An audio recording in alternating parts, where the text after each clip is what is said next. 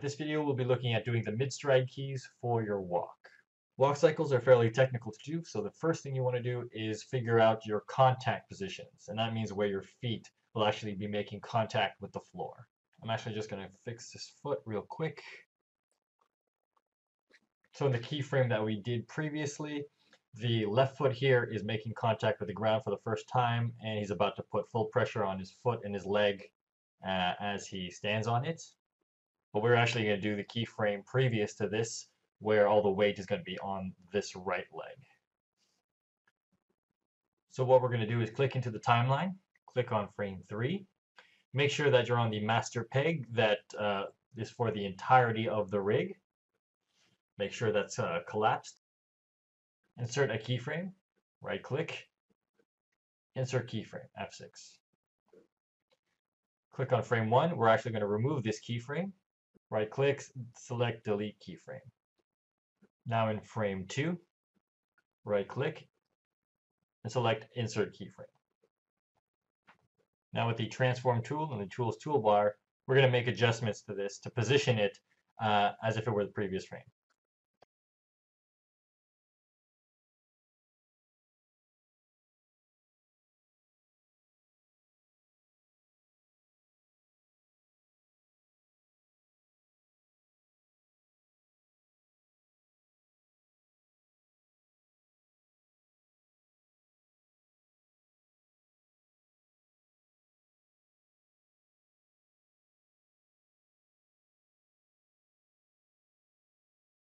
So this is going to be the position for our previous keyframe.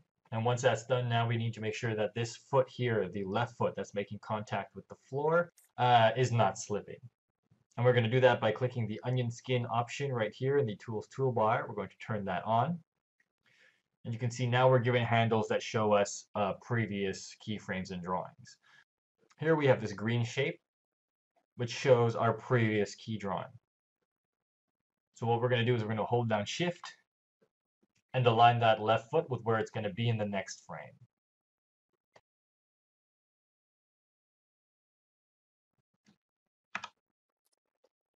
You can nudge your selection using the arrow keys left and right if you need to. Let's turn the onion skin off. Now, concentrating on that contact foot, if you toggle to the next frame, you can see it looks like it's still in the same position, or making contact at least at the same position. I'm actually going to move this, nudge this down a bit using the arrow key. There we go. So now I'm going to do another previous keyframe. I'm going to do it by doing the same thing. I'm going to place a keyframe, reposition the figure, the rig, and then make sure that feet aren't sliding.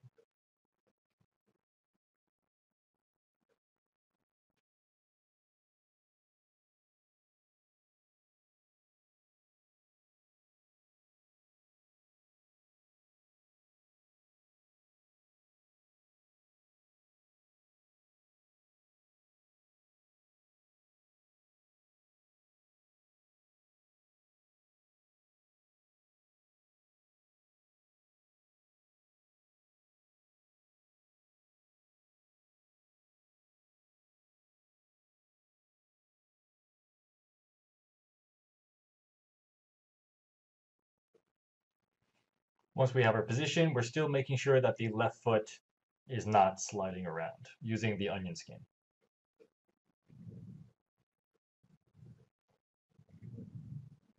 Now I only want to see my previous keyframe, but we're getting multiple frames here of images in the onion skin.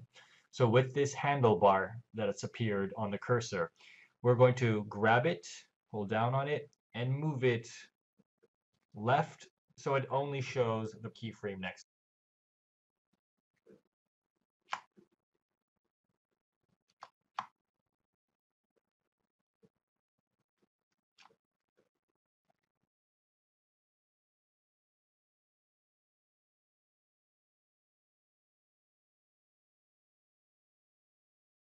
And once that's done, we're going to do the same thing for the right foot.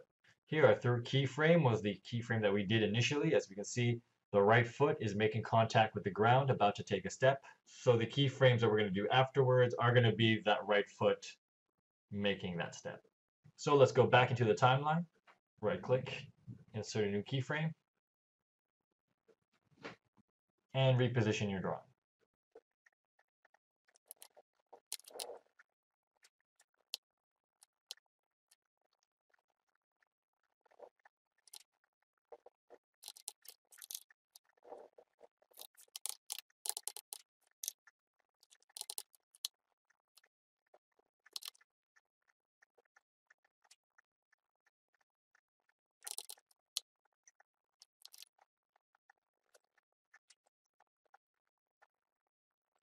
Now when checking the contact position for the right foot, we only want to see the previous frame, so grab the handle on the left-hand side and reduce it so we only get the previous frame.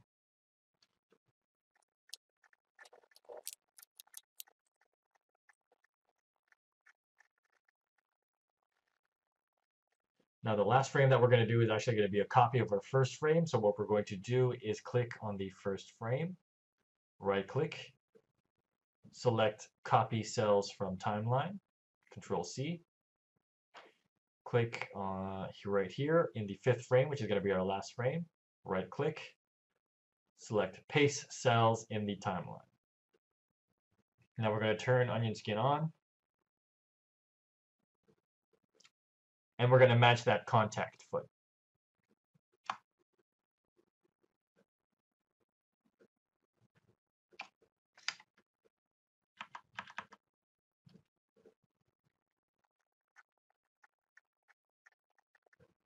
And if you look at what we have now, we have all the contact positions for that walk.